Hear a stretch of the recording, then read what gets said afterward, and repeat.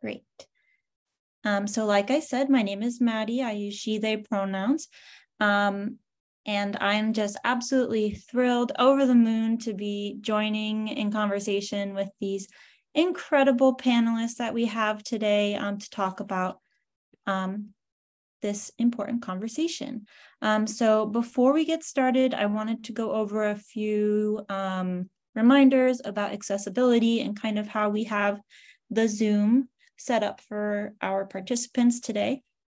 So first, um, for accessibility reasons, um, please, uh, for our panelists, please say your name as you begin speaking. Um, this helps with a variety of language things, and it also helps with captioning. Um, people who have English as a second language, I mean, we want to be respectful um, and make sure that this content is as accessible as possible for all participants.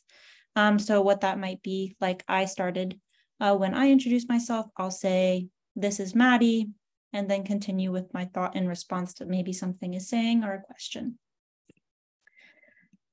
The second thing um, is to please speak at a reasonable pace, um, an accessible pace for our wonderful ASL interpreters. Um, they're joining us today um, to help bring language access to all folks here. And um, I want to ensure that we make make sure that this is reasonable for them to effectively communicate the information that we're presenting to all people. A couple things regarding how the Zoom is set up. If you have questions throughout the panel for our panelists, um, you can send those using the Q&A feature in Zoom. Um, so depending on how wide your screen is, it may show up right at the bottom of your Zoom screen, or you might have to click on the three dots that say more and click on Q&A in order to send us a question. Um, we will take some time at the end of the webinar to answer those questions. Additionally, um, we do have our chat open. However, the chat works one way. Um, so if you have an accessibility barrier or if you have a question or concern unrelated to the content of the webinar, please send a chat in the webinar chat itself. Either way, if you send a Q&A or if you send a chat, we'll be sure to see it. Um, so don't worry if you get those mixed up. Either way, we'll see it and we'll, we'll ensure that we'll help. Um, additionally, just as a reminder, this is being recorded um, and this will also be available later this week or early next week on Disability Rights Florida's YouTube. Um, so if you want to rewatch it, if you want to share it, um, provide it to someone who couldn't attend, it will be available to you and we will post it on the Disability Rights Florida social media and website uh, once it's on YouTube. Last, um, I wanted to note something from our partners at NDRN. Um, Jack Rosen, who works for our membership, men, sorry, membership associate, association, the National Disability Rights Network, is hoping to do interviews with trans folks with autism to weave into a documentary short he's producing on the attacks on gender affirming care targeting people with disabilities.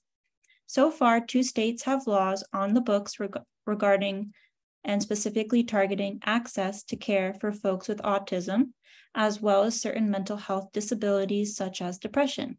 In particular, he is hoping to connect with folks who left states that restrict access to care.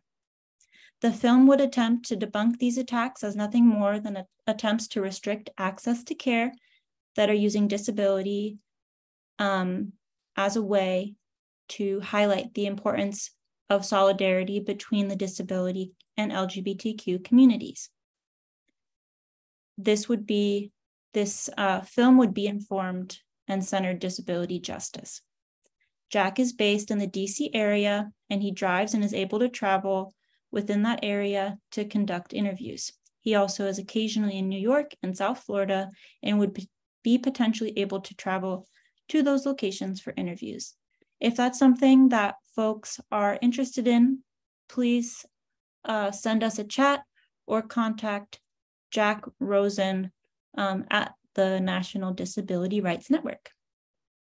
So now that I have gone through my whole spiel and talked a whole lot, I am so excited to now really get into um, our conversation today.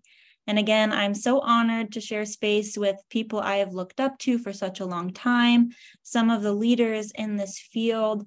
Um, we really have such a stellar group of panelists here today. Um, and I really hope folks enjoy. So to get started, I'd like each panelist to introduce themselves. Um, if comfortable, um, share your name, pronouns, a brief visual description, a little bit about maybe where you work or what your advocacy looks like, and any other important information you'd like to share with people who are here today. And just a reminder to please say, this is so and so when you introduce yourself.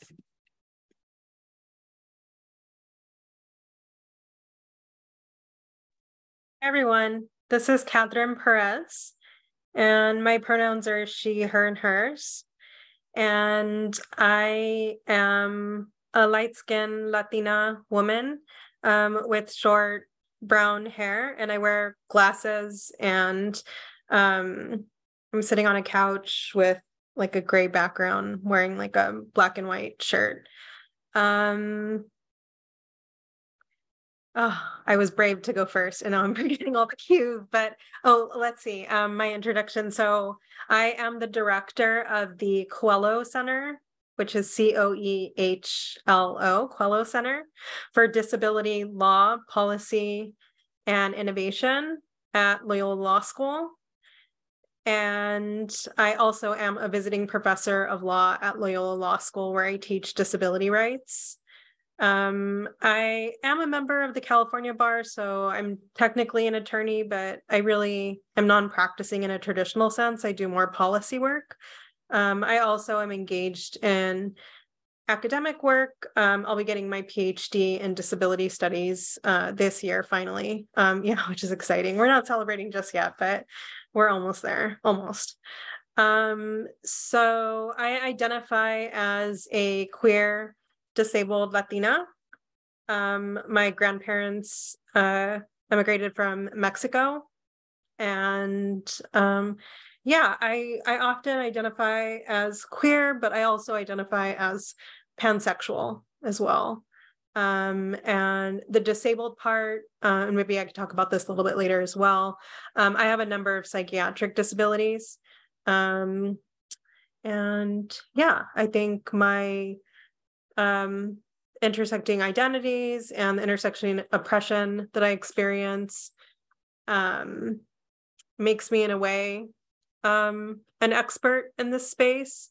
But otherwise, I'm a little bit intimidated to uh, be in the presence of folks who I know uh, have much more expertise. Um, I think the areas that I am involved with most are in higher education, specifically getting more people with disabilities into legal education and uh, the legal profession.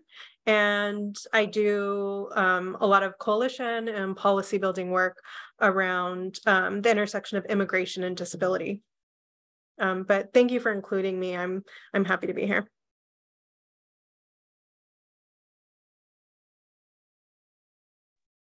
Sure, I'll go next. Thank you for being the brave one.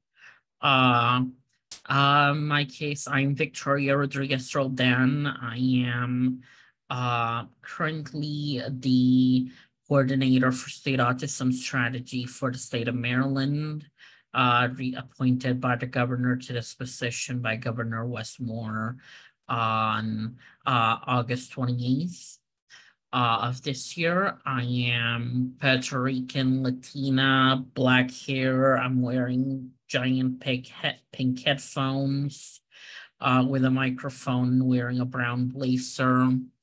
and I would say uh, I'm autistic myself. I'm I'm a trans woman, and previously I did lead. Uh, I have worked ex- almost exclusively in either LGBTQ policy or disability policy, at either leading the Disability Justice Project at the National LGBTQ Task Force for five years, and then uh, at leading the policy department at GLSEN, working education policy there. Uh, I am a lawyer by training, so I've never practiced a day in my life, and I am almost proud of that at this point. Uh, you know, I seem to have been fortunate in that sense. Uh, I have myself a fair amount of mental health disabilities, and I'm surrounded on my side by medication bottles. I keep them next to me so I can consult a spreadsheet on the computer when I take them, so I don't forget. It's kind of sad in a way. Uh, but I would say between the expertise that comes with that intersectionality, which has been my focus, uh, currently in my back to government role because I, I started in government and hated it. And nowadays I'm back in government 10, 10 years later and somehow liking it. I would say the goal is to make Maryland a lead, the leader because it's currently there's no such other position in any other state like mine, at least as created by the legislature. So the goal would be to try to create a plan as a policy that establishes a very inclusive role that acknowledges that autistic people are LGBTQ, are people of color, are queer, and I can keep on going. But yeah.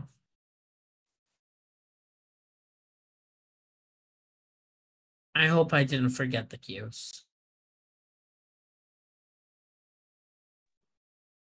I'll go next if that's okay. Um, this is Morénike, um, Morénike Giwa Onaiwu. Um, my pronouns are she, her, and or they, them. And um, I am a non-binary um, um, Black African woman, um, assigned female at birth. So I'm dark skinned. Um, I am wearing a um, my micro braid wig today and some uh, like a black scarf and a black shirt. My background is blurred, um, but I'm in my bedroom and I have a stimming device uh, in my hands. Um, I am really um, pleased to go after my two colleagues um, who, you know, you know, we share being, you know, people of color who are disabled, who are queer, who are really passionate about working in this space.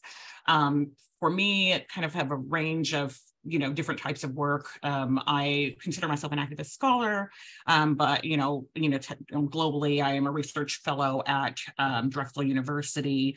And um, i work i do um, diversity on equity and representation and justice work with autistic women and non-binary network. But i also do some freelance things with other organizations. And i'm just very passionate about um, disability justice, about intersectionality, um, about um, like neurodiversity affirming work, and really just addressing some of these um, unnecessary silos that we create for ourselves um, in the work that we have when there's so much you know that there's so much that's interconnected about our communities um, that it really isn't it doesn't help us to be you know divided. So this you know panel today you know here you know whether it's from a you know professional standpoint or here you know personally um, as a person as a parent um, as you know a member of the community um, this is just something that's really just really crucial and i'm just really grateful for the conversation that we're going to have today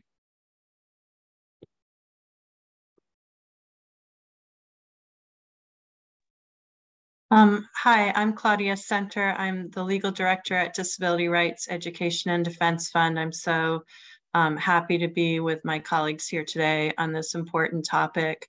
Um, my pronouns are she, her, hers. I am a white middle-aged woman with brown hair um, uh, in my living room um, in San Francisco.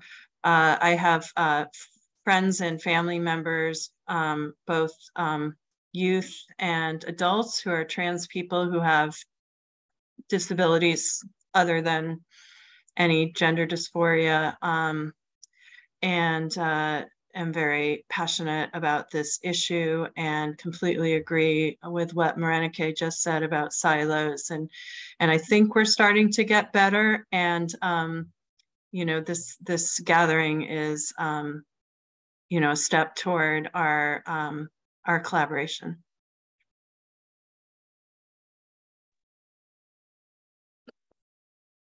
Hello, uh, this is Simone Chriss. I use she, her pronouns. I'm the director of the Transgender Rights Initiative at Southern Legal Counsel. Um, we're based in Gainesville, Florida, but we do statewide work. Uh, I'm a white cisgender uh, gay woman, identified as lesbian. Um, I'm wearing a black suit with a Progress Pride flag lapel pin. I'm at my office because this is where I live. If you ask my wife, she will attest to that. Uh, my office is very messy. Um, so happy to be with you all today. Um, I am a, a, civil rights attorney and I really have, have specialized and focused on transgender rights uh, work and I utilize federal impact litigation to challenge state laws and policies that impede access to justice for, for trans folks. Um, we do disability rights work as well. That is not my you know area of expertise, but it is an area that Southern Legal Counsel has historically really intentionally focused on. Um, we also do work around the criminalization of homelessness. And as everyone is aware, all of these areas have so much intersection and overlap that that you know they really aren't separate areas of law.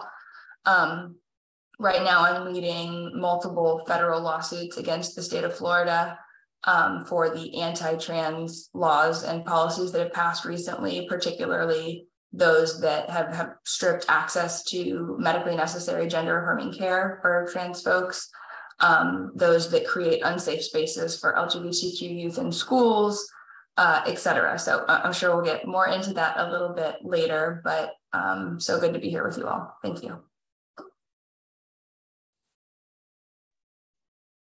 Wow, this is Maddie. I just want to say, like, I'm just so speechless and like honored to share space with y'all. And yeah, y'all, y'all's work and y'all's ability to show up today and give your whole selves to this conversation. I just truly appreciate um, all that y'all are bringing. And um, I look forward to getting into the conversation with you all as well. Um, just to start, I I do already like appreciate all of the kind of themes we're talking about, how all of these things are intersecting, and that's that's kind of the main point of this conversation is that we need to address these histories and address our shared experiences so that we can move forward and build solidarity and work better together. Um, I think each of you touched on that in your introductions, and I think that is such a good foundational thing that participants can hold with them as we continue throughout the webinar and conversation. Um, additionally, I think just as a starting point for those who may not be familiar with some of the topics um, we're going to talk about today, I believe we have a poll that I'm going to launch.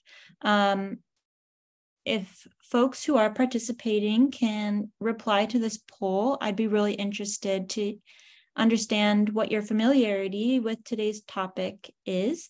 Um, so very familiar, somewhat familiar, unfam- somewhat unfamiliar, um, and very unfamiliar. And so far, we're leaning more towards being somewhat familiar, having some familiarity with uh, the topic.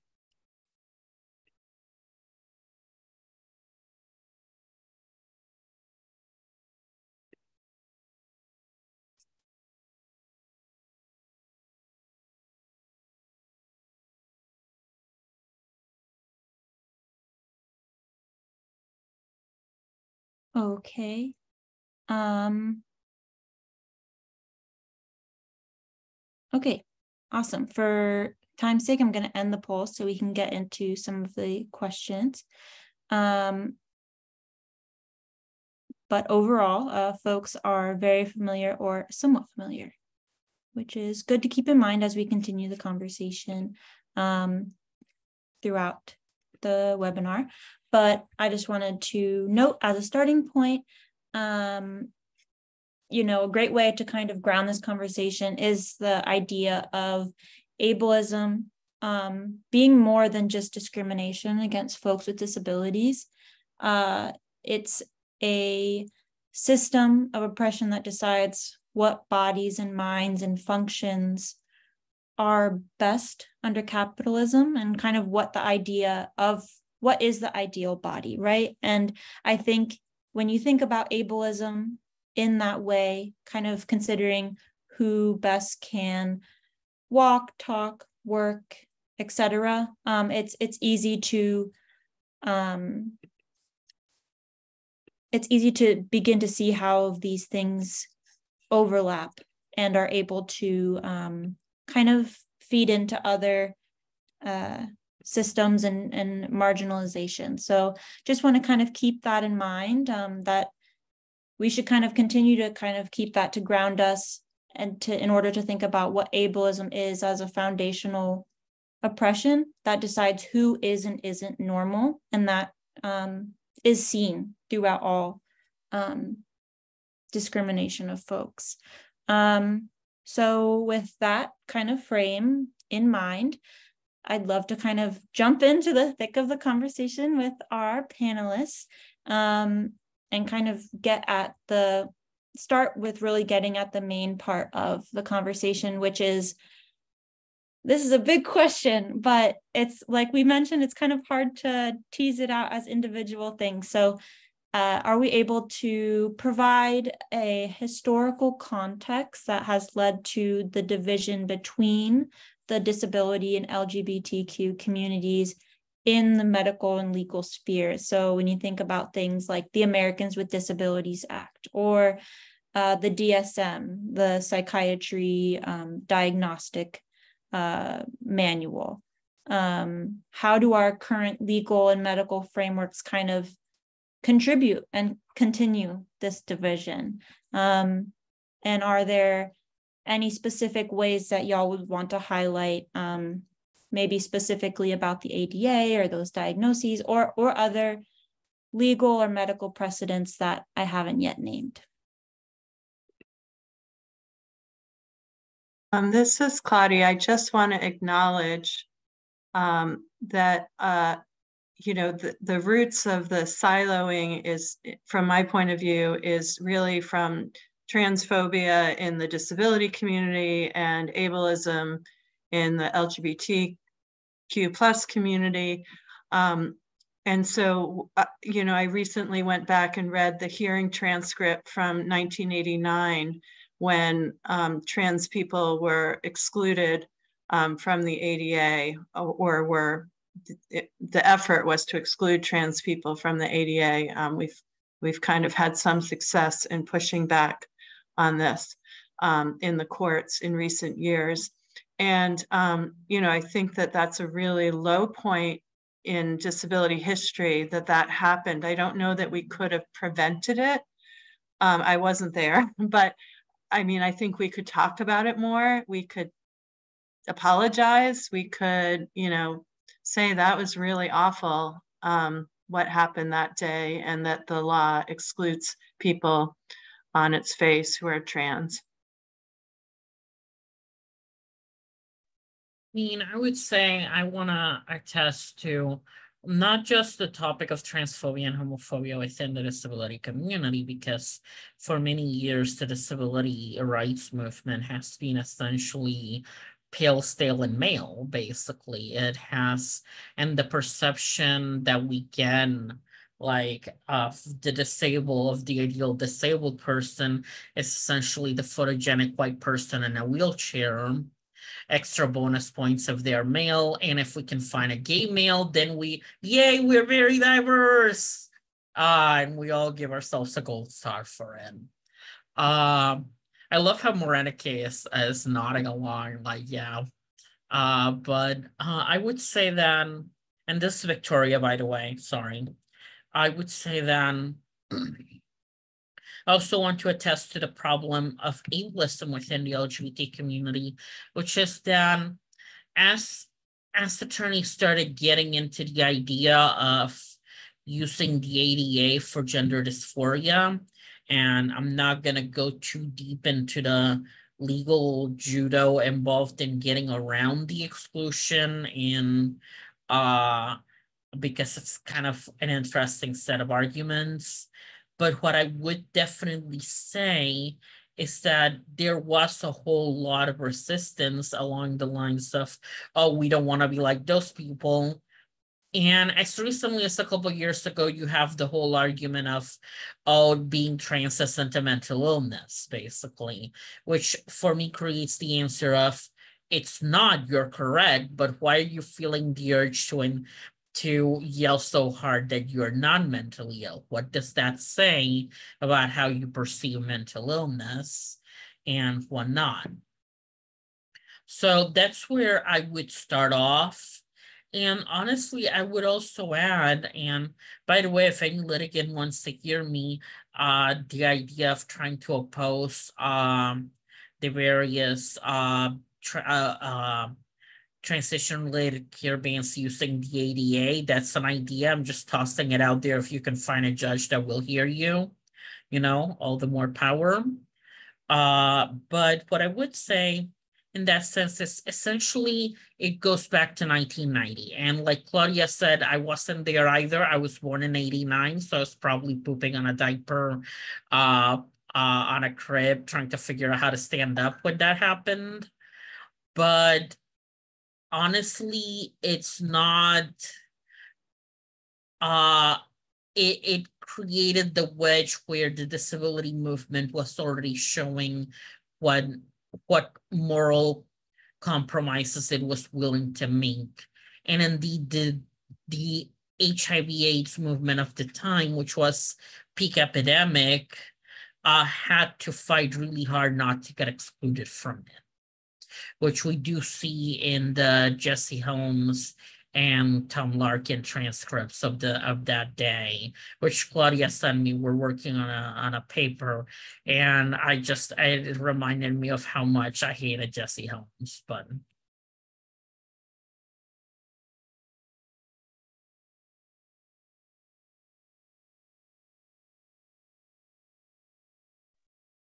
Could someone, this is Maddie, could someone elaborate a bit more about Jesse Helms and the ADA and, and how that all came to be and uh, explain the ADA and and um, talk a little bit about it being trans exclusionary for those who might not be familiar with law?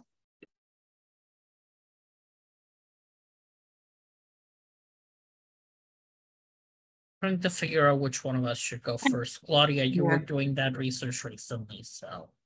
Yeah, so, um, you know, there was a sort of right-wing attack on the bill that eventually became the ADA beginning in nineteen eighty-nine, um, saying that because the ADA was using the term mental impairment, that that meant that anything in the DSM, at the time, I think it was DSM three, um, could be covered by the ADA. So then the the right wing would pull out the DSM and read, you know, every horrible, you know, from their uh, some of them are horrible, you know, sort of the things that are, you know, like pedophilia or things that are crimes if they're acted upon. Um, so started putting those in the record um, as this is what the ADA would cover. And so then um, in order to to get the ADA through the House and then through the Senate as well. Um, there was an agreement of a list of um, disorders from the DSM that would not be cov- covered. So it was things like pedophilia, exhibitionism, kleptomania, um, and included was um, these are old fashioned words transvestism, transsexualism, and um, gender identity disorders um, not resulting from a physical impairment is, is what was ultimately agreed on. And so as a result, you um, it, it's very difficult to be covered by the ADA solely based on transgender status, even if the person needs accommodations in school related to accessing care or accessing bathrooms, or this comes up a lot in prisons and jails. Um, so, so now because the DSM has changed so much, and now there are different terms and different analysis of, of, um, of what trans means in terms of the DSM. And now we talk about gender dysphoria. Some of the courts are saying that those exclusions don't um, apply to the modern era.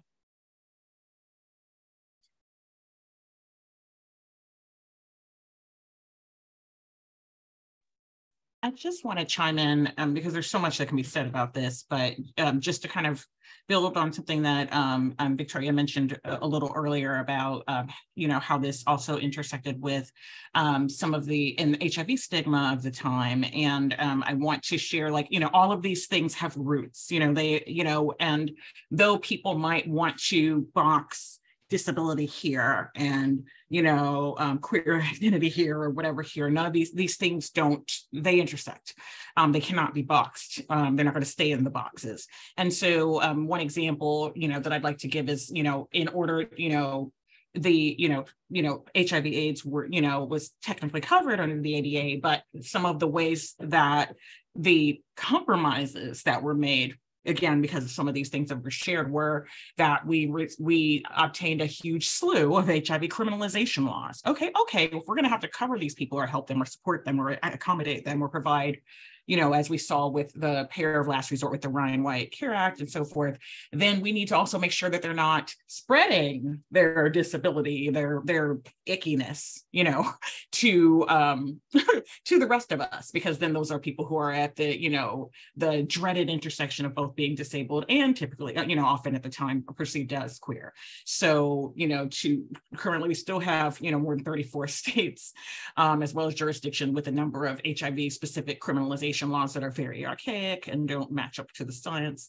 Um, and then we have a number of states that can basically, you know, like amplify or supercharge their laws with the existing laws, even if they don't have specific statutes against it. So we see that it's almost been like, you know, okay, we're not going to cover this, we're not going to cover this, we're not going to cover this, or we're going to cover this, but we're going to do this. It's like from the beginning, exclusion was was kind of built in um, just to convince um, you know, just to kind of get things through. And so while I'm grateful for the ADA, you know, there are many holes, you know, that exist as a result, uh, you know, a lot of compromises that were made as a result.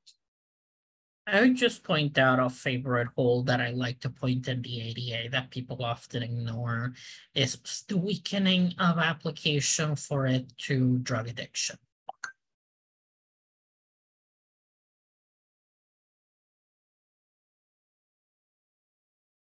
Katherine, you haven't spoken, please. I don't want to us to take the whole monopoly and making fools out of ourselves in front of a crowd. You should partake too. Yeah, this is Katherine. Um, no, I'm just waiting for further questions. I feel like that was good comprehensive background. I'm interested maybe um, I, I, wanted to call on Simone to see, because I know part of this question is how does our current legal and medical frameworks continue to contribute to this division? So um, I'm interested as to your work in this space.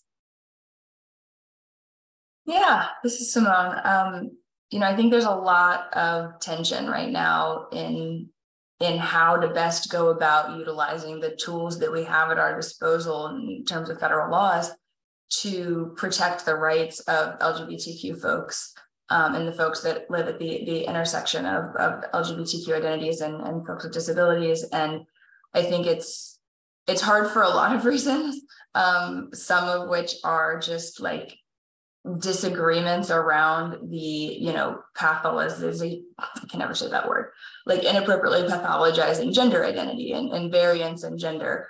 Uh, but also needing and wanting to to fit in it fit fit under and, and have the protections of the laws that protect on the basis of disability um, and then you know you look at the way that the other side has sort of weaponized in the way that they've always done against marginalized communities they've weaponized you know the the gender dysphoria diagnosis and and and the sort of sometimes co-occurrences of gender dysphoria and autism and other things like that to deem you know transgender folks and particularly transgender minors um, incapable of providing consent, incapable of providing assent, incapable of understanding the consequences of treatments that that are can be life saving and and and life affirming.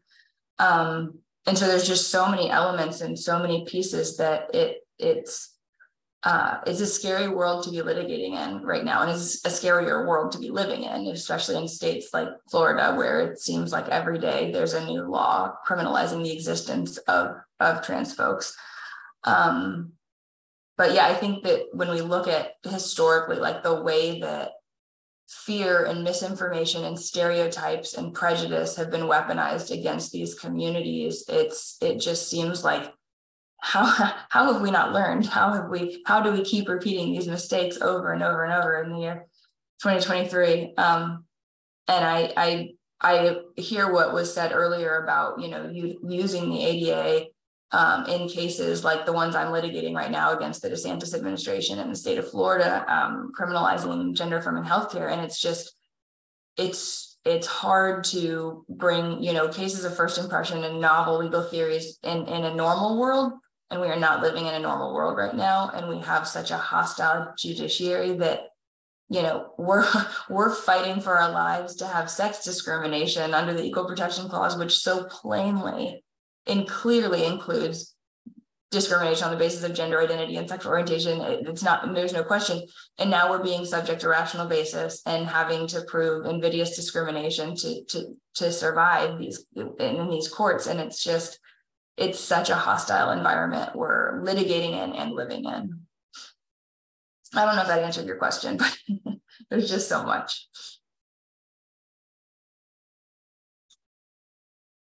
Yeah, and I appreciate you kind of tying, you know, these foundations into the work that you're currently doing, Simone, because I was hoping that you could speak a bit more to that and also um, you know, for all folks that have been involved in some of this intersectional casework, litigation work, just and and in understanding kind of these developing and novel legal theories, um, you know what what kind of work are we seeing at this intersection? You know how has disability and lgbtq inter, like intersecting discrimination affected people with disabilities um, who are lgbtq at a variety of places in their life? Like be it like you were mentioning earlier healthcare maybe education employment incarceration transportation uh, just to name you know a couple spheres of how we can view law and and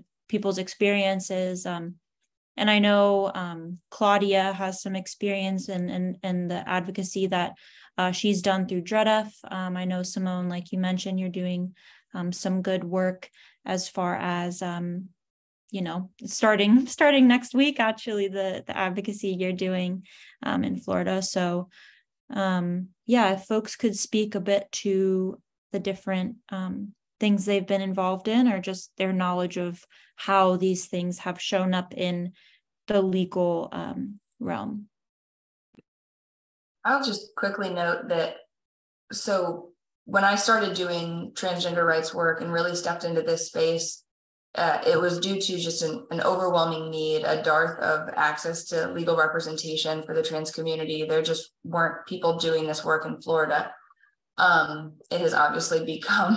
I had no idea what I was, what what was what was coming in the next few years when I started doing this work in 2016, um, and it's become so much more of like the the the there are active laws seeking to strip rights from from this community and and sort of erase them in a way that we didn't see previously. But but one thing that i found to be a really a really helpful tool and technique that that i used and that i trained lots and lots of other attorneys on um, back before this you know really just multifaceted all out attack on trans lives um, was utilizing some of the the special education laws for example um, in representing trans kids in schools. And so, you know, there were many unspoken, unwritten, or sometimes spoken and written policies that excluded transgender youth from the bathrooms that aligned with their gender identity, um, that that didn't allow them to use the name and pronouns that align with their gender identity. Um, and, and, just that created an unsafe environment in which they weren't able to focus on education and academics. They were or, or socialization or what everything that school is supposed to be because they were too worried about not drinking water because they didn't want to use the bathroom.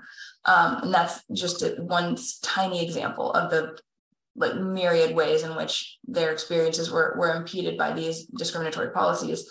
Um, but i was able to really effectively for many years use Section 504 of the Rehabilitation Act and the IDEA to build in accommodations in these kids' special education plans that otherwise I really didn't have a good legal remedy to to seek that those their ability to access an affirming learning environment. And so I think that's just a tangible example of how you know we, we sort of use the these how folks who are living at the intersection of these identities um, we can really look at what tools are available on this side that that you know discuss sex discrimination and what tools are available over here that that have disability related discrimination or protections and how can we best utilize those um, to, to, to protect folks and so that's just one example um, this is Claudia. I think we're looking at the same thing um, in terms of people who are either in um, states with gender affirming care bans um, or in areas that have very little gender affirming care. So if you look at healthcare and you look at transportation, those are two sectors that are extremely ableist and extremely transphobic. So with the um, trans bans, um, we're now having people not only have to fight all the existing barriers to healthcare, that they were already fighting, but now having to to um, to travel. And you know, we know travel's not accessible either. And and so um, we're trying to to brainstorm and figure out how to support people in their travel um, and also uh, how to make sure people have access to healthcare, that it's accessible, that there's plain language, that there's exam tables that are accessible, that there's ASL in medical care, and so on and so on and so on. This is Morénike. I just wanted to quickly jump in about something that Simone mentioned earlier related to um, how this goes back to our youth and like this, you know, the, you know, how this, we see this with, you know, IDEA and section 504, like it, you know, like this is all kind of like intertwined. And, you know, I just was thinking we're talking about, you know, cases and I'm just thinking about Kincaid versus Williams and the situation with, you know, Keisha Williams um and but but you know in terms of being you know forced to be you know housed with males being called you know being misgendered and being denied care for the crime of not having bottom surgery you know because everyone doesn't isn't necessarily going to you know that's not what uh, determines one's gender.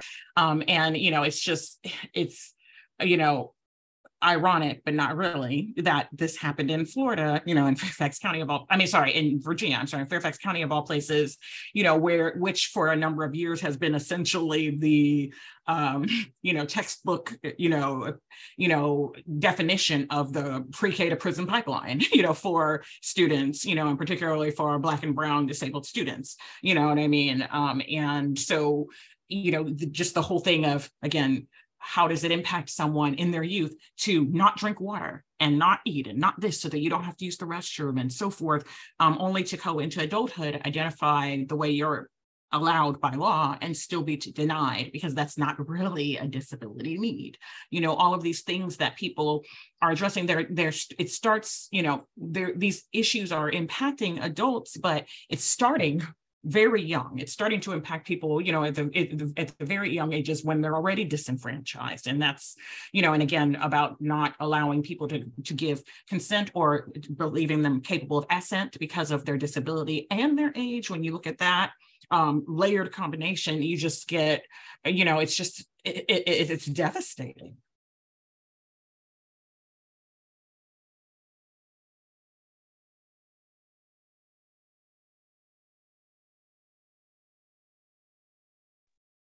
For those who um, are joining us today who are un, un, um, unfamiliar with uh, the Williams versus Kincaid case, like you just uh, were referencing, Morénike, could could y'all talk a little bit about that and talk a bit about how um, that was really important when it came to understanding gender dysphoria under the ADA and kind of was one of the one of if not kind of the first big cases that address this intersection.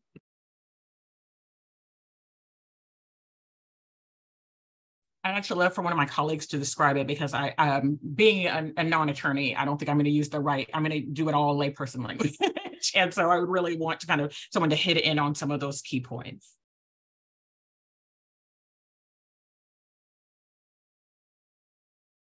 Um, this is Claudia. I haven't looked at that case in a while, but um, as I recall, um, the question was whether gender dysphoria could be considered a disability under the ADA, even though, like we talked about a few moments ago, the ADA excludes a number of, um, uses the words transsexualism, transvestism, however you say that, and um, gender identity disorders not um, resulting from physical impairment.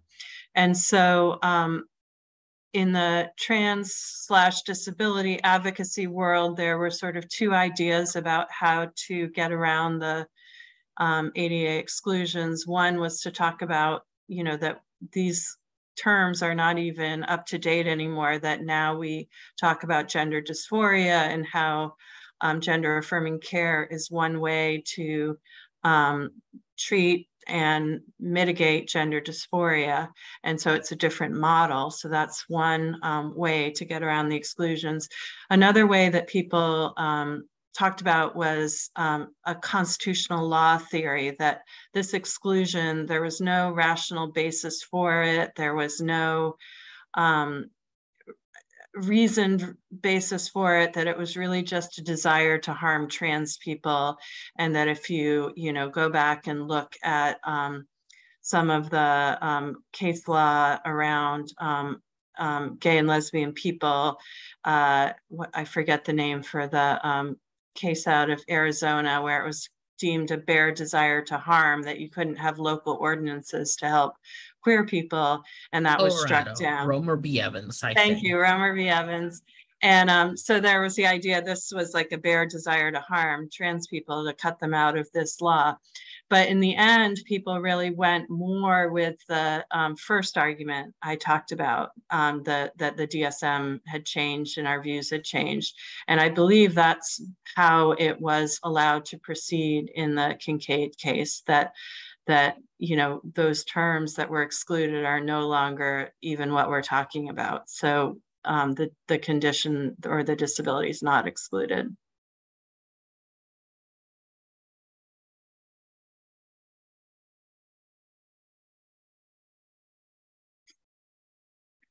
Um, someone wrote, asked about section 1557 of the ACA. I think there are a few cases that use 1557 to try to get, you know, coverage for gender affirming care. Um, I read one recently. Um, I'm not enough of an expert to tell you, um, you know, what are all the 1557 um, trans cases out there, but it but it is being used by advocates. Yeah, that was one of, I'm sorry, this is Simone, Chriss. Um, that was one of the claims that we won on in our case called Dekker v. Weida, challenging the state of Florida's ban on gender affirming care being covered uh, for all Florida Medicaid beneficiaries. Um, we did the Equal Protection Clause of the US Constitution, the uh, 1557 of the Affordable Care Act, and the Medicaid Act and we were we were successful on each of those claims after a two week trial. And the other cases that have also utilized uh, section 1557 of the affordable care act for this type of discrimination have been um, the Fain case in west virginia the flack case in wisconsin the Kadel case i believe in north carolina um, and then i think boyden in wisconsin. So it, it is being used um, it's I haven't had as much luck, or not, I guess not luck. I haven't had great success, unfortunately, with utilizing like having individuals go through the process of filing um, complaints with the U.S. Department of Health and Human Services under 1557 and having any sort of remedy reached that way, but but it has been a successful tool um, for coverage, not necessarily the criminalization of the provision of care or bans on the provision of care, but for the coverage of care um, in, in federal litigation.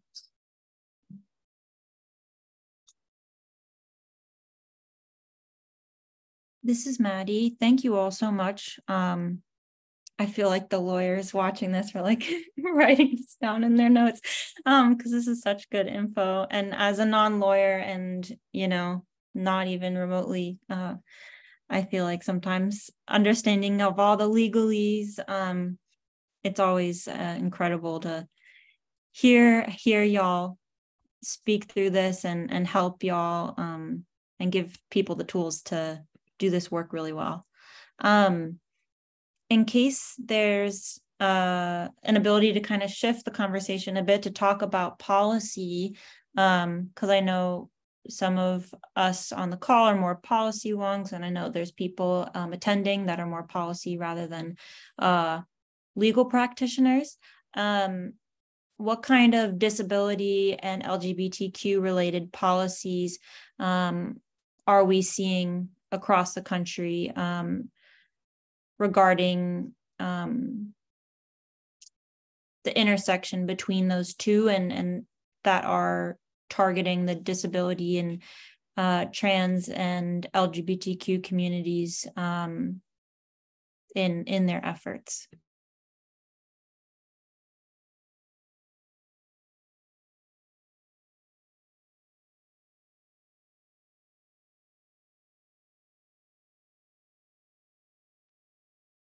feel like this one's more Katherine and I to an extent, but I would say as far as priorities, uh, it is primarily the issue that like we need to start encouraging laws that affirm at least disability access to uh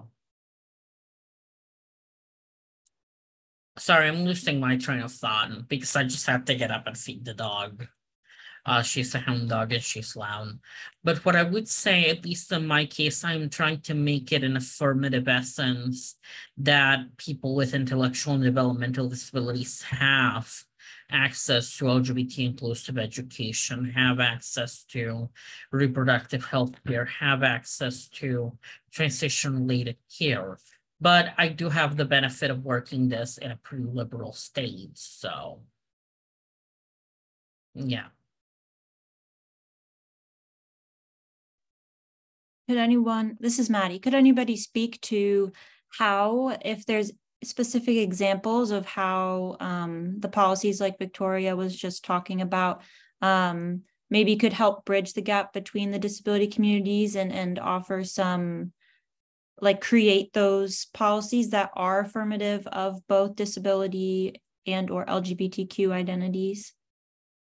Also feel free to answer any of the questions at any time.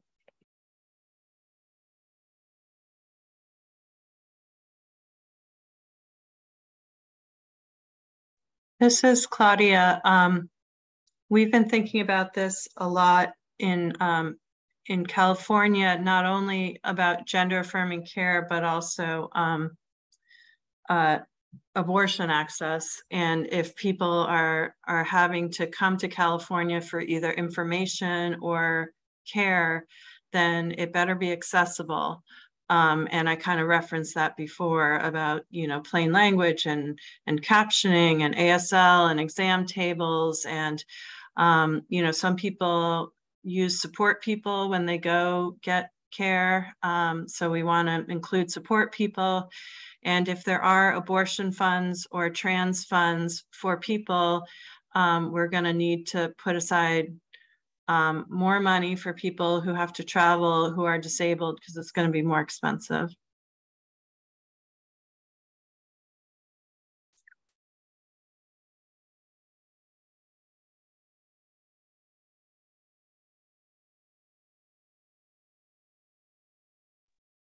To chime in quickly, this is Morénike on that. Um, in addition to you know the issue with with transportation, with um, cognitive accessibility, um, and so forth. I think that there's also a need to you know have like practical, culturally affirming you know practices built into these things as well. Um, and so that's something that you would hope one would think to do so, but is not necessarily the case. And so thinking about the heterogeneity, geneity, I'm sorry, of our of the community, both you know of, of you know these communities, um, ensuring that um, can you um, address individuals for whom English is not you know their um, you know primary language or for whom you know or individuals for whom there are certain you know practices that would be more you know that you know more suitable you know that, that need to be done in a different way to you know again be affirming of cultural or you know background and ethnicity and so forth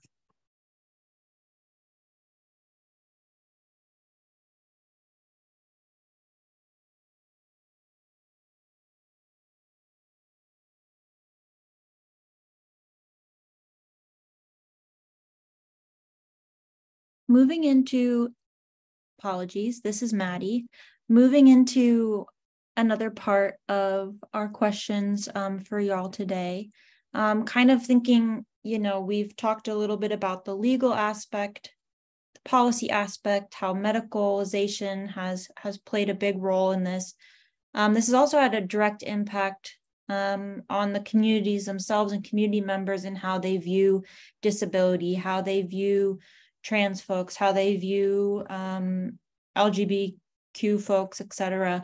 Um, could y'all speak a bit to the impact um, that has had that, that like all of these various factors has had on individuals themselves and kind of speaks to the need for this conversation to happen by itself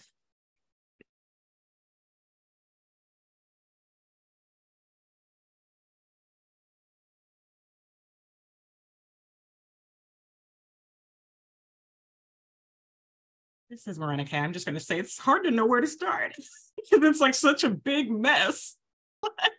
um, you know, when you, you know, I just think about like the sense of, of defeat and hopelessness that exists within the community, you know, particularly among our, our, our youth.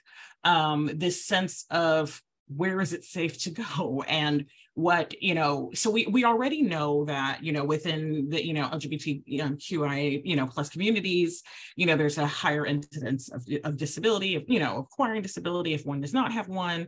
Um, we know that there's a lot you know there's a lot of information about the disparities in healthcare which contribute to disability. So there's all of that aspect. Um, there's not getting the fact that if you're disabled you're typically not getting the you know you know, as you age, you're not getting the type of care that's made, you know, maybe centered toward your needs. You're not getting, you know, like accessible sexual education or even being seen as a sexual being. If you're queer, you may not be getting information that's relevant to you, um, you know, in, you know, in a, you know, cis heteronormative, you know, kind of like system um, in terms of what's given in the public schools and so forth. So there's all these areas where you already may not get the care that you need, or when there may only be certain providers in certain areas that um, you know, um, who can't treat everyone.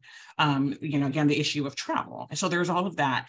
And then there's, you know, the unaddressed mental health piece um, and, you know, these all of these attacks on, you know, services and service providers. How on earth, you know, like what, how, I'm, I'm just thinking like the idea that you cannot be, you, you have to answer to being called this thing you have to be you have to be in a circumstance where you're not understood where you can't even use the restroom. If you just think about like all of these things are they're infuriating to us as adults but we're adults. We're not young you know? So i'm just thinking of if they're so demoralizing if this is your foundation the foundation of the world that you're growing up in how what precedent is, is there for one to think that there is a way to um, to to overcome this when we see these regressive policies really kind of you know being touted as ways to protect youth or address disability or what have you? It's um i just you know it's just like a big disgusting ball of of just chaos. Can I just piggyback on that real quick and say, I mean, as someone who is old enough to have been a trans uh, teenager in the early to mid 2000s, and I remember all those years of Bush and Karl Rove and post 9 11, like, I still wouldn't trade being trans now for being trans then.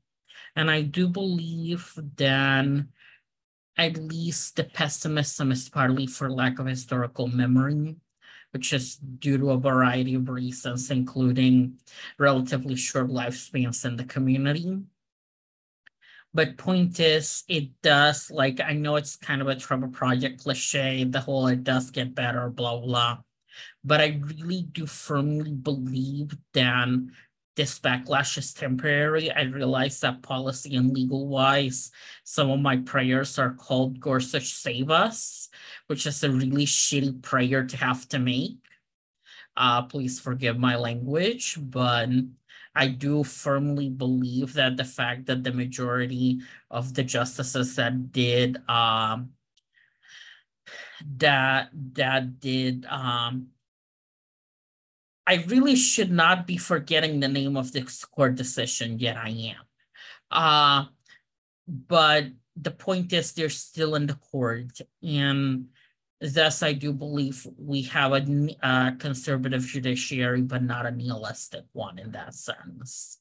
Simone can disagree with me there, but uh, but there are still ways to win to an extent but I really do believe we're just going through the equivalent of the marriage movement's version of 2004 when it was fashionable to run against it, even for Democrats and all that. And it eventually gets better. Like I do firmly believe in destiny. I'm gonna go with that mantra of destiny is with us. So yeah. Were you trying to think Bostock? Yes that one. Just this is Simone, just sort of piggybacking on what, what you just said. Uh, I think there's a lot of cause for fear and anger and frustration and devastation, but I agree with you that there's also reason for hope and um, not not necessarily the Supreme Court, but they have allowed some things to remain in place that were surprising. They did issue Bostock, so there's there is some hope there but but more importantly i think what we see sort of historically is when it comes to marginalized communities like ours all the ones we're talking about when people are uninformed when they are afraid and they're usually afraid because they're uninformed the public is is more willing to allow things like this to remain in place and to happen and and to look the other way because they genuinely don't understand. They're more likely to be swayed by misinformation and disinformation even folks that aren't malicious and aren't transphobic or or ableist necessarily are are more likely to believe you know the, the misinformation and disinformation.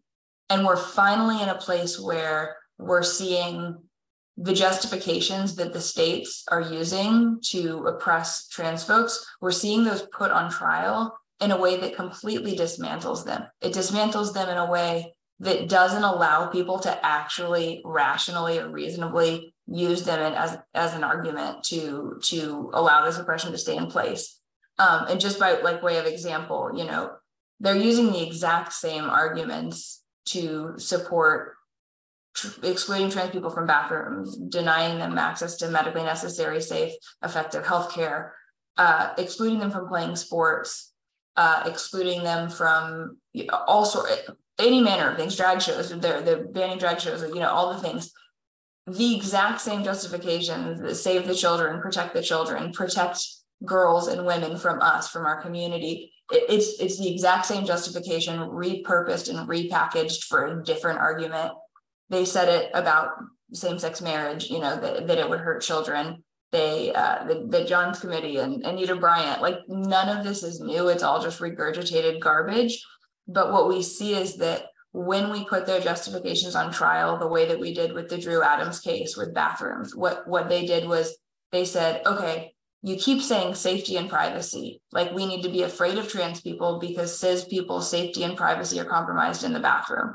But then when it finally got to trial and they looked at the entire country, the entire country, and couldn't find one instance of a trans person harming another person in the bathroom, not one instance of a cis person's privacy or safety being compromised by a, a, the existence of a trans or non-binary person in the bathroom. It makes it really hard for those people to hold on to that as their basis for, you know, refusing to shift in their their beliefs and, and thinking these things are okay.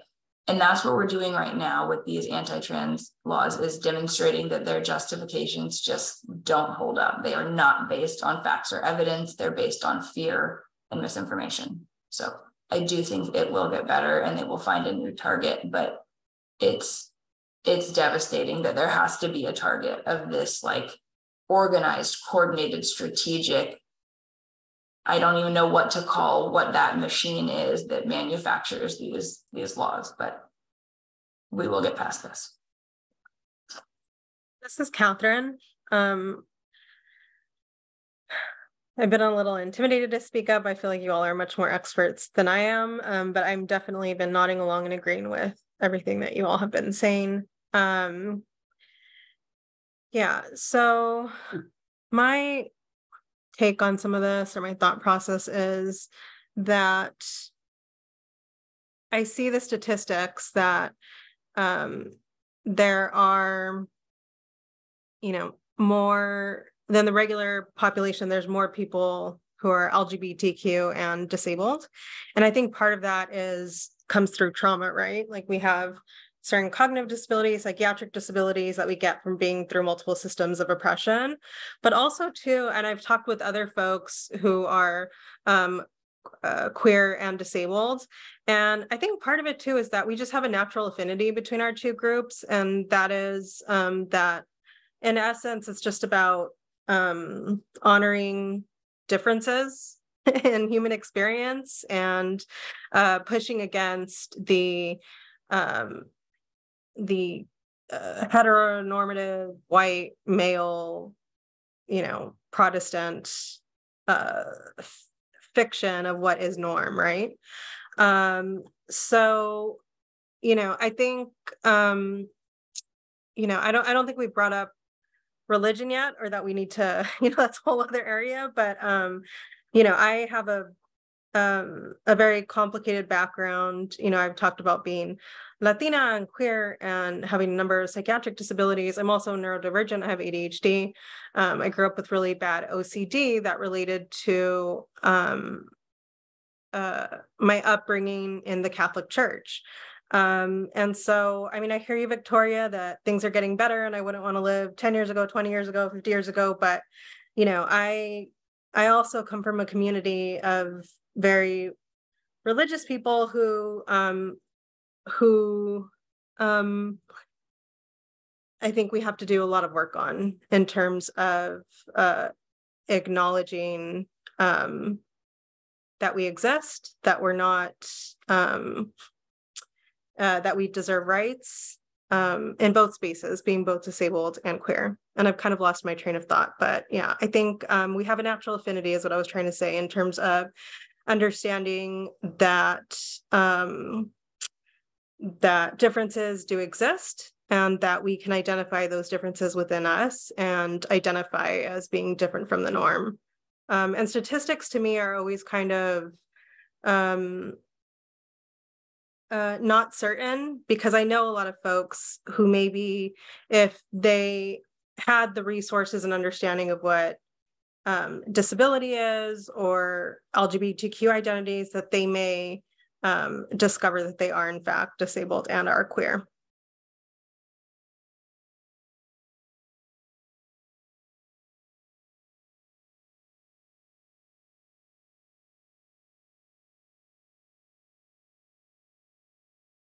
I just want to make a weird comment. If you think the New York Times coverage of trans kids is bad right now, go to the archives and read up the uh, the New York Times coverage of same-sex marriage in 2003 when Massachusetts started in, basically, because I'm old enough to have been a nerd reading that, and I was 14 at the time, so. it's just the same cycle of life. Humanity makes the same mistakes usually. This is Maddie. Thank you all for all of your insight into this question. And I appreciate, um, you know, the elements of hope and themes of hope kind of coming through and knowing that our communities see each other and support each other. And um, I think that's a great segue kind of into our closing um, section before we get to our plenty of wonderful participant questions. Um, and please feel free to keep sending them because we'll we'll get to them shortly. Um, but as you know, Katherine kind of said, um, talking about supporting each other and and having shared understanding of what it means to be normal or not normal and and how those things kind of begin to fade away especially once you um, I begin to identify or understand how these things work in a larger context as a, a system of oppression. Um, anyways, that's all kind of to give foundation to our final few questions. Um, starting with how can the disability and LGBTQ communities work better together um, moving forward? Uh, what has this kind of looked like in the past and how can it improve?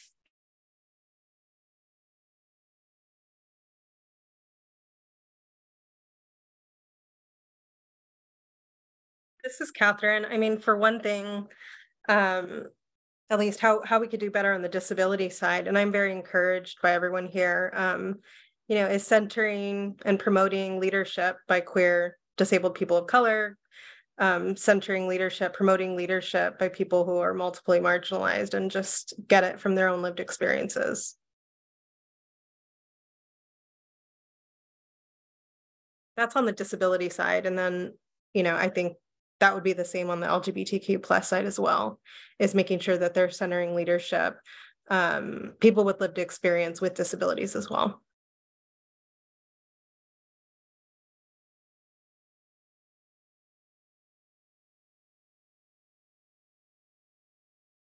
I wanted to just, this is Morénike, echo what um, Katherine stated, because that is so true.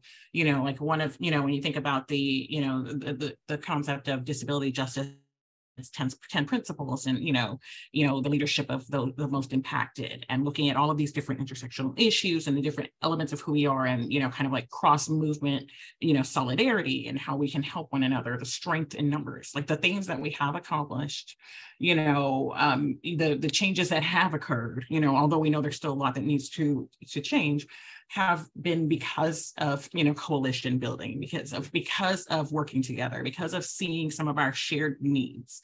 And so i think that that is something that needs to continue to to be built.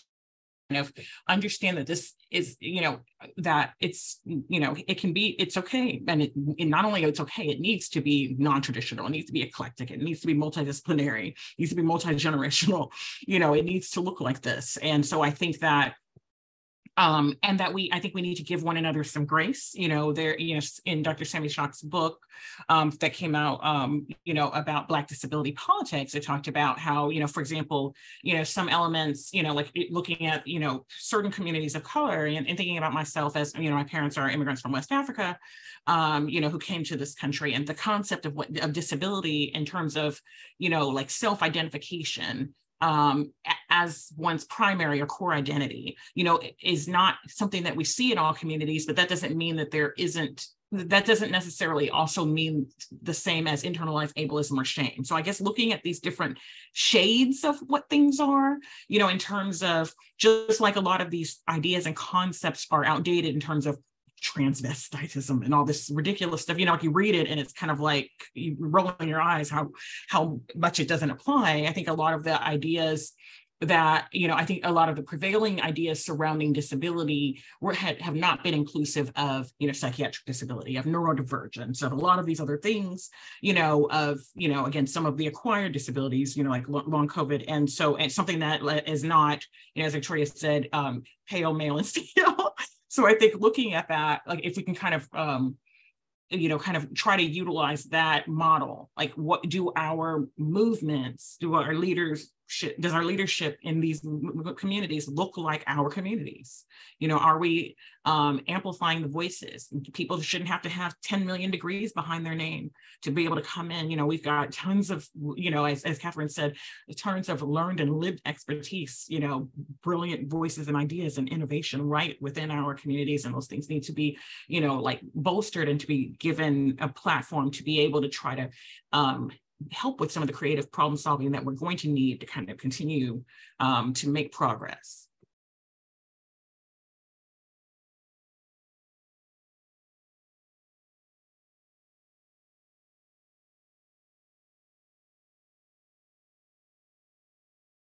Yeah, going back to this is Katherine. Look at me now, I'm being talkative, but um, you know, going back to the first question, because I'm finally caught up on the first question, you know, I think, you know, that laws um yeah laws i'll say policies too but laws and policies um are tools um but they definitely you know they're not everything and they're not sufficient. And as we've kind of said we can use these tools to work in intersectional spaces but really um you know they they are um our our civil rights laws can be very one issue based um, so I think this community piece to me is the most interesting because I think that um, the real intersectional justice works happens at a community level. And and if the tools are single issue based, then that means that each of our communities needs to rally around um, all the issues that come up. So if there's a big LGBTQ case, the disability community has to get on board and understand that um, that the disability community is part of the LGBTQ community and vice versa. Um, and I'll add, this is Claudia, I'll add that when we're in um, particular spaces working, and it's almost any space, but I'll mention some in particular, public schools, um, public streets, restrooms, airports, um, healthcare, healthcare, healthcare, um, any kind of transit, jails and prisons. You know, our people are there, and we need to make sure we're representing all of our people, which are going to be trans and queer people, disabled people, um, trans people who have other disabilities um, other than any gender dysphoria they may have. And so, how do we um, hold all those issues when we're working in those spaces?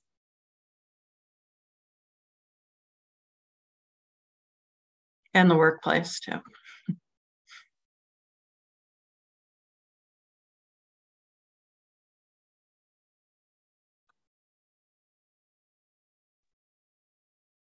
I would, uh, this is Maddie. Um, in addition to um, holding our communities for each other, is there any particular examples or ideas that um, y'all would like to share for those who um, don't hold these identities or hold one and want to do their best to support those who hold both in their community.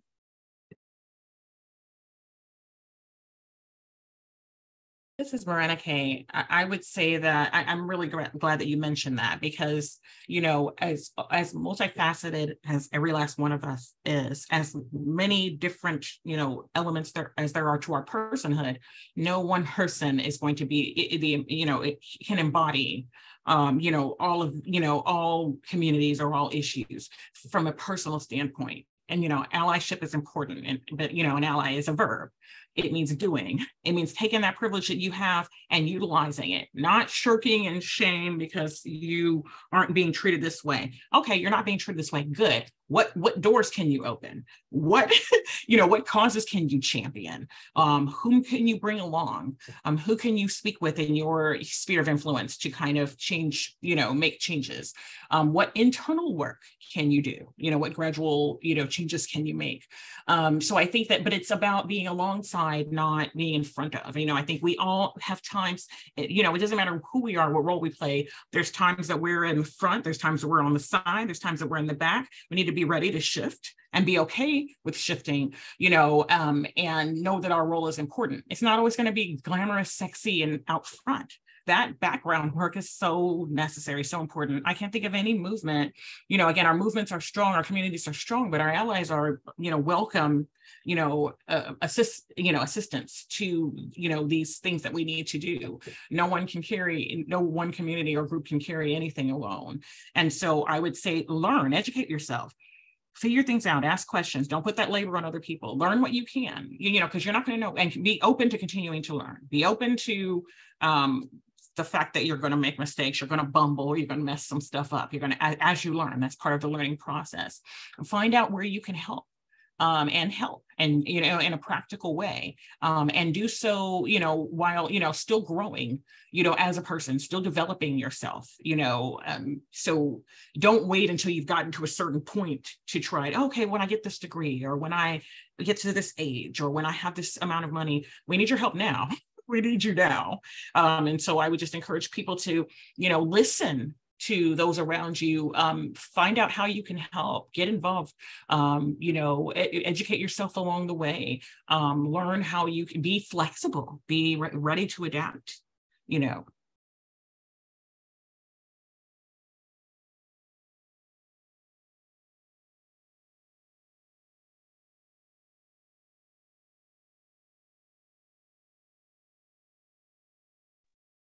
I think that's a fantastic answer. And I appreciate each of you providing your insight throughout this whole conversation.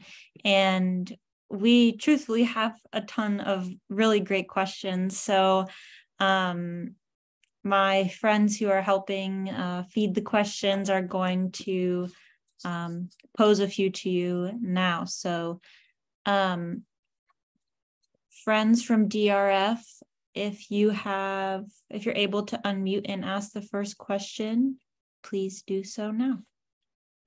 Hi, Maddie, it's Robin. I'm going, going to be asking the uh, first question. Uh, it's a little long, so give me a minute. Um, how will the recent passage of Florida's Safety in Private, in Private Spaces Act impact people's ability um, slash willingness to access slash visit state-owned facilities in light of the possibility that this act, which applies to prisons, public schools, and state-owned agencies, may include restrooms and changing rooms in city parks, beaches, airports, government buildings, and education institutions. The law criminalizes the use of bathrooms and changing rooms that don't align with gender assignment at birth um, at the above state-owned facilities question is for people with disabilities, LGBTQ, as well as those with intersectionality to both. If these, if, uh, if these individuals do not present or identify as socially defined masculine feminine, how will this bill and the risk of confrontation slash enforcement impact their choices in employment, education, and recreation? And that's the end.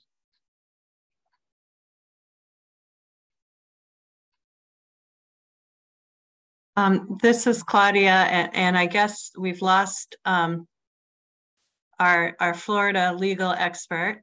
Um, but I will say that um, most of us cannot avoid interacting with our government. Um, and that particularly includes people with disabilities. Most people with disabilities, particularly, you know, quote unquote significant disabilities are going to have to interact with their um, governments. And so you're essentially criminalizing someone's status um, because people have to interact with their government um, for their health care, for their disability supports, and for their education. Um, so, you know, whatever DREDF can do to help with uh, the litigation that will certainly be challenging this, you know, we're, we're, you know, here.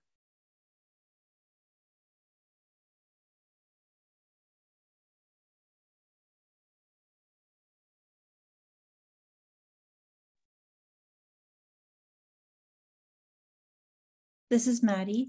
Um, if we can get a better answer for that question, we'll definitely share it out to the participants as well um, and see if Simone has additional uh, insight that she'd like to share. Um, unfortunately, she was having some Wi-Fi issues, so we hope she'll be back soon. Um, can we get the second question from our Q&A? Hi, Maddie. This is Tony, your faithful Q&A moderator. Uh, this next question asks, is there a consensus or current thought of the division between the medical and social models of disability and how LGBTQIA has also been pathologized? How do we balance the need for legal support through things like the Americans with Disabilities Act or quote special education rights versus the risks of using a medical model that's used or been used to dehumanize? Yeah, so this is Katherine. Um, I feel like this is up my alley, especially because I was sort of talking about conceptions of queerness and disability. Uh, I, I kept saying as difference, but um, really my understanding and my belief is through a social model, right? And for those who aren't familiar, um, medical model essentially says that uh, the problem is internal to the individual. So if the problem is internal to the individual, then the solution is that we need to cure, fix, rehabilitate. Um, whereas a social model of disability looks external to the individual and says that uh, the problem are um, oppressive systems. And if that's the problem, then the solution is uh, fixing those oppressive systems. Um, so I think that and and I talk about this. I said I teach disability rights law at law at a law school, and we do kind of start when I teach both the ADA and the IDA, whether um, these laws are through a social model or medical model or sort of mixed. And I think in many ways these laws, um, you know, have moved us toward the social model understanding of disability. But I do understand, and maybe this is what the question the person asking the question is getting at is that in many ways um, uh, you know a medical model understanding or the medical realm is still so prevalent in our use of disability rights protections because of uh, you know um, having to get um, what's the word? Like diagnoses having to quote unquote like prove one's disability. So all of this sort of uh, medical um, gatekeeping that happens in order to get protections, right? So maybe that's how I'm kind of understanding um, the question. Um, uh, yeah, I'll stop there because I lost my train of thought. If anyone else has any answers to this.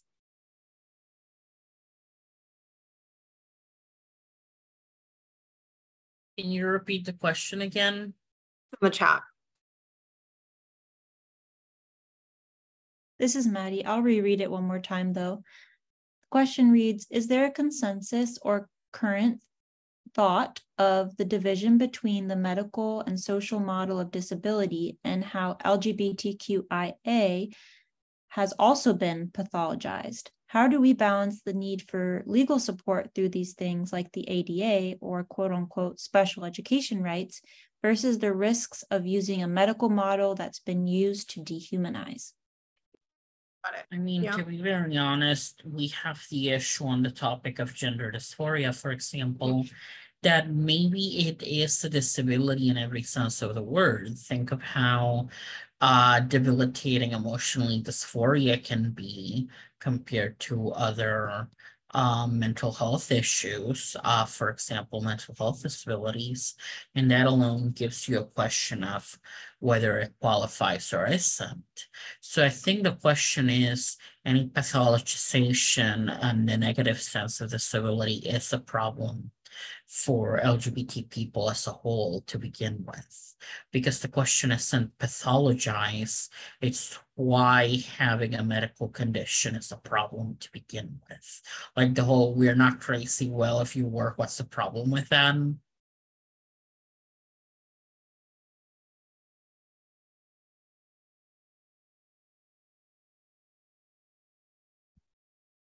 This is Morénike. I just wanted to um, kind of add to um, what both my colleagues have shared, um, because I think that a the the stigmatization is a problem. Um, the whole oh well, you know, people will say, well, I'm this, but I'm not this. You know, again, this whole um, you know idea of needing to um, you know pathologize or or you know uh, uh elevate one others or elevate oneself above someone else because of feeling of however one feels about oneself um, and the, how that just hurts groups um, and so it's but I, at the same time like even like the tension in the question i see is that okay there's the social model you know which is in terms of looking at our society overall and looking at the systems and then there's the medical model which is this is you're broken and then like neither neither model really you know captures our true reality the social model, um, you know, cannot, it does not necessarily make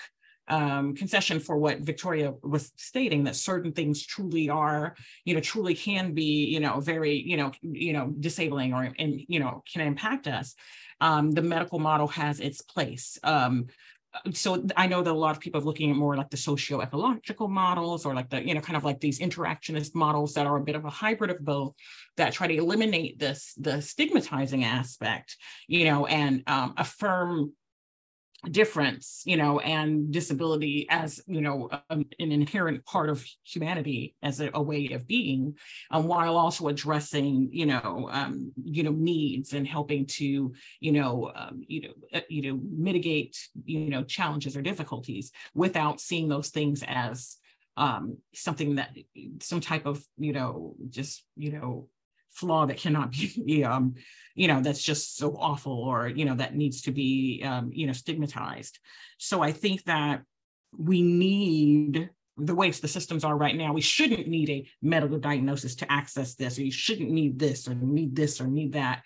Um, unfortunately, in the world we live in, we do need those things. And so I think a lot of the, in the, in the um, you know a lot of the paradigm shift until we can change that is how we view those things. You know like victoria saying okay so i'm not x but why is x bad? You know we need to fix that. Like that's something that um that's in something that's internal you know um, that you know is kind of sadly laden throughout society. And so i think that's an area um in terms of the worldview that people have our, our lens our perspective that need that can that needs to be addressed um more so than um, you know the, the realities of the interplay between medical and social. I say one more thing? This is Katherine. Um, so I think that the ADA and the IDA can be great tools. They're not perfect, but I think they could be good tools. Um, I think where in the beginning I said I work in a lot in higher education. Um, and we use the ADA um, in order for folks in higher education to get accommodations. Um, and one thing that we look at is, is um, uh, you know, we have the tool to get folks accommodations, but how do we do work on the institutional level to change the stigma and perceptions of accommodations um, uh, for for people who still view, for example, accommodations as being like um, as being like special treatment or unfair advantage or a fundamental alteration versus um, how the disability community approaches the ADA and IDA as you know level the playing field and addressing institutional inequity, right? So um, I think uh, you know, we um, I understand sort of the fear of using those tools and being pushed into a medical realm, but also I think that those tools, uh, there's a way to conceptualize them through sort of a social model. But that work needs to be done in terms of um, having people understand, um, again, that the ADA and IDA are tools for equalizing.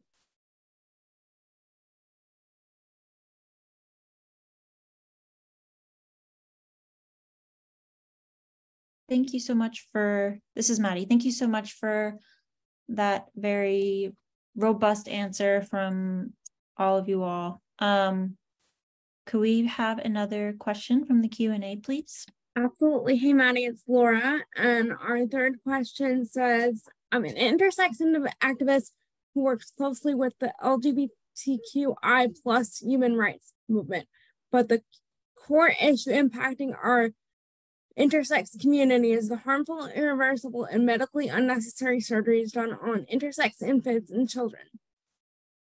It's an issue that intersects with reproductive right, rights, children's rights, and I think disability rights, particularly around the issues of parental consents. However, here today, this panel is not even including the I when talking about LGBT. Thoughts? Thanks. So I just want to say that there is an amazing organization called Interact, uh, which focuses on intersex folks in uh, the LGBT community. And I know a few of the people involved in it, and maybe that would be a topic for another panel of that intersection. But I am I don't dare go beyond because I'll admit I'm not an expert, and that is admittedly not one of the big topics in this panel. One of one this set of panelists is good for.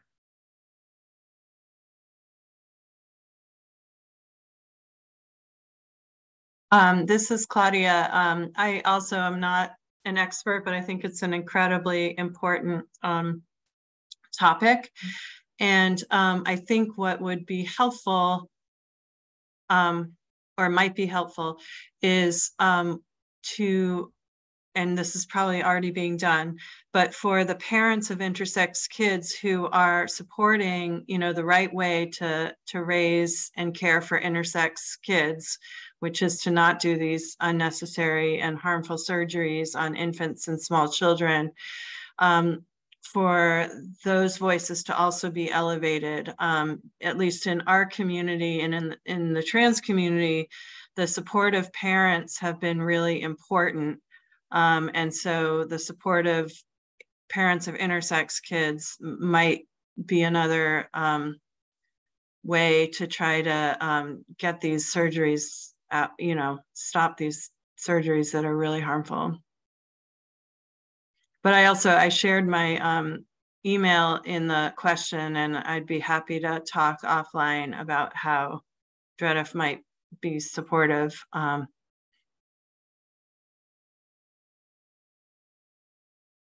Thanks all. Could we please have another question from the Q&A? All right. Hi, Maddie. It's Robin again. Um, so our next question is, um, they have been able to recycle and use the same arguments in large part because queer communities left out or kicked out trans communities throughout the years of advocacy, just as queer slash trans communities have excluded disabled people. How do we build uh, coalitions across identity and stop that cycle.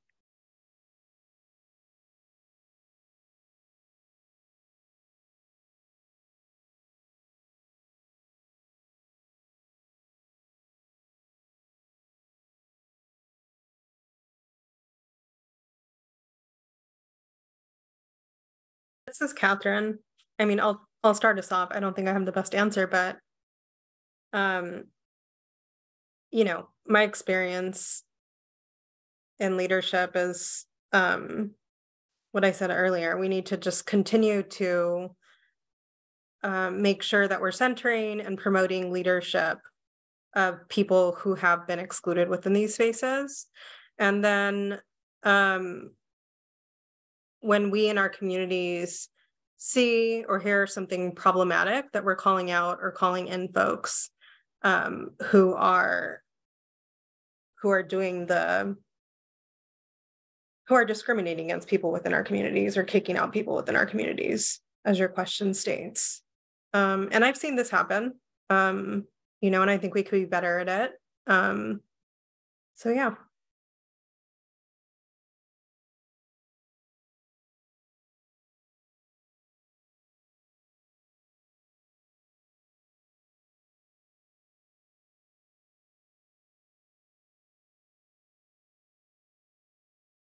This is Maddie.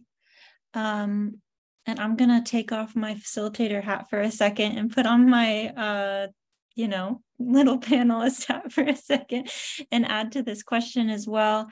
Um, because a lot of the work that I've done has kind of been specifically on cross movement organizing, especially the inclusion of disabled folks within um, other communities who aren't aren't necessarily trying to exclude folks, but um, by means of not knowing about accessibility or um, you know disability inclusion and care and disability justice um, have just inadvertently or un- unintentionally left disabled folks out. So I always encourage um, I know this is coming from the disability perspective and ask for for both, but um, I think when we're talking about advocacy, making sure that we're considering how advocacy is accessible for all folks to participate um, and in what ways they're able to participate is really, really important. Um, and as we continue to build coalitions moving forward, ensuring that um, folks with a variety of disabilities are able to show up in a way that's accessible for them um, is important, whether that's through digital organizing, um, you know, with accessibility or um, continuing to be COVID conscious as someone who has long COVID. Um, you know, a variety of things, physical accessibility, web accessibility. Um, there's a whole host of disabled um, folks who are such great resources on on these topics, and I really encourage um, just generally uh, more accessibility and disability um, wellness centered uh, organizing and um, community building. And with that, thanks, thanks y'all for letting me jump in. um, uh, can we have another question, please? Sure, Maddie. This is Tony. Um, thanks for your perspective just now. Um, this fifth question asks, how do we effectively address ableist intersections within LGBTQIA plus populations and communities without first discussing medical and charity models of disability and how these flawed models encourage both lateral ableism and lateral queerphobia, uh, which in turn leads to the policing of all forms of non-conforming bodies and brains.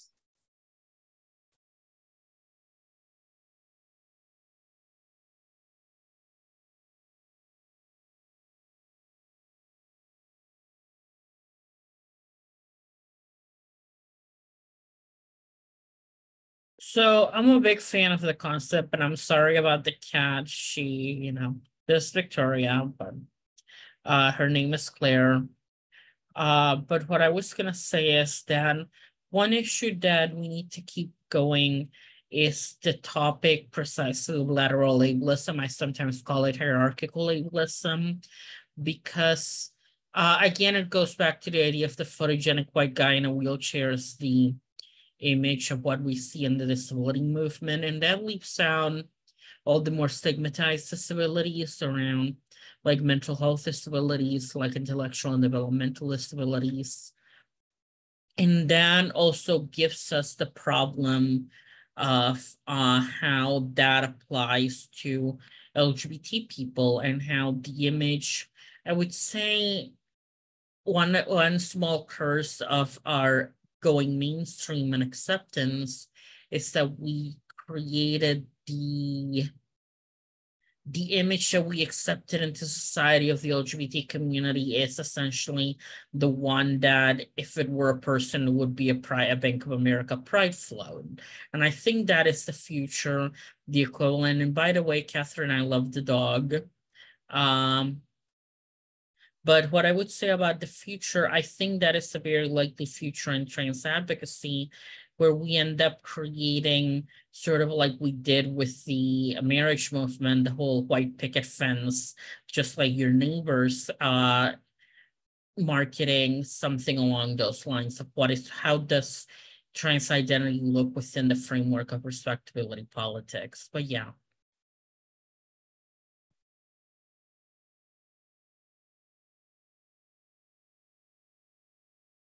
Um, this is Claudia. There's something about that question that makes me think about the young adults that I know who are trans and who have disabilities and um, how they talk about their identities and their space in the world and that they take up their space.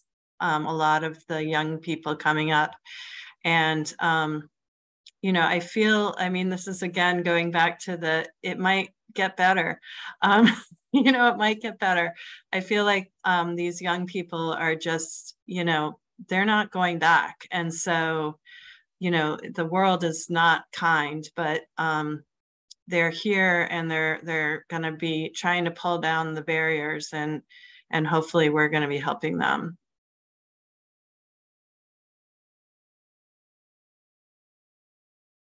Thank you. That's an awesome answer. Uh, could we please have the next question? Maddie.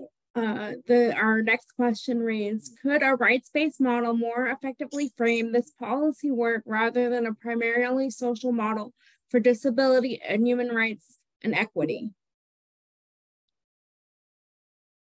I mean, I would say, and I think I have the question about what, how long, how much time are we planning to take? But I would say we need not that, but a justice-based model, basically, where we focus on social justice. Because rights, I think of just the legal rights, basically. And that's the easy part. Getting the ink on the paper is the easy part as with no disrespect to all my fellow lobbyists and to the litigators for that matter who get the law made. But the societal change that needs to come attached to it is the hard part in many ways.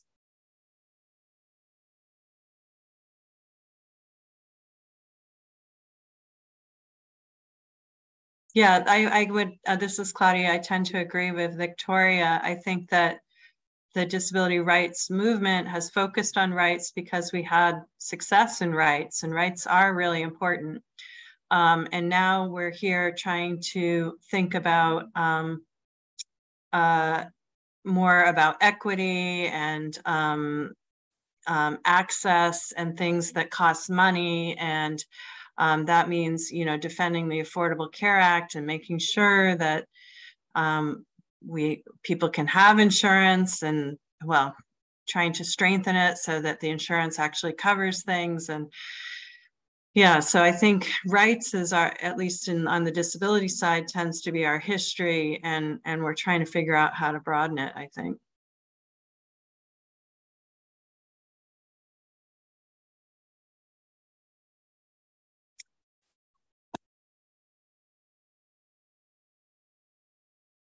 I'll try to show my animal. This is Katherine. Just as an image description, my my beagle is popped up into the screen. Sorry about that. I love beagles. I have two. I, I have a, be- a bigger hound, a foxhound. So like a beagle, but huge. So, but I think when I adopt again, it'll probably be a beagle. I've fallen in love with hounds, but I need it to be smaller. Uh, Claudia is showing her lab pit um, dog. Black. I love this. As we uh, pull up uh, what I think is our final question, I will let in my dog and we will ask the question. All right. Hi, everybody. This is Robin. Uh, what is the current situation on diminishing disability definitions decisions under the ADA? I think that's more a question for Claudia or for the dog. um, well, I would say, um, you know, in the disability law world, uh, you know, especially since the ADA Amendments Act of 2008, we have gotten more coverage of people as having a disability under the ADA. Um, but that doesn't mean people necessarily win their case. I think that then the battle kind of moves to the other parts of the law. So, you know, the judge might say, okay, okay, this person has a disability, but they weren't a qualified worker or they weren't a uh, you know, that what they wanted was a fundamental alteration or it wasn't reasonable. So I think, uh, you know, we, we've managed to resolve some of the barriers for disability coverage for a, a lot of disabilities, not all of them, but a lot. Um, but it doesn't mean that, you know, the sort of the battle moves to the other places in the law. So for example, um, with the gender affirming care, um, you know, most of those are going under gender and not disability. Um, but then you're you're going to look at you you have to convince the uh, the judge that it wouldn't cost too much to cover gender affirming care. Like that's where you end up. Um, but um, I think that uh, the Department of Health and Human Services has tried to be um, strong on this issue, and hopefully the new regs will come out soon.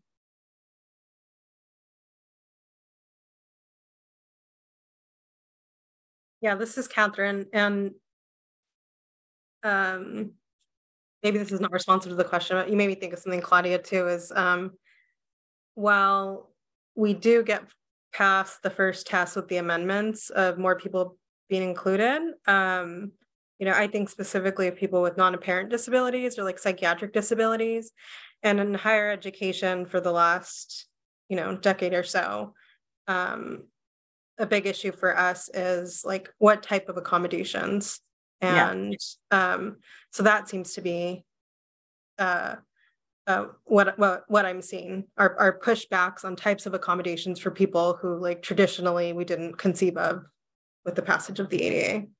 Yeah.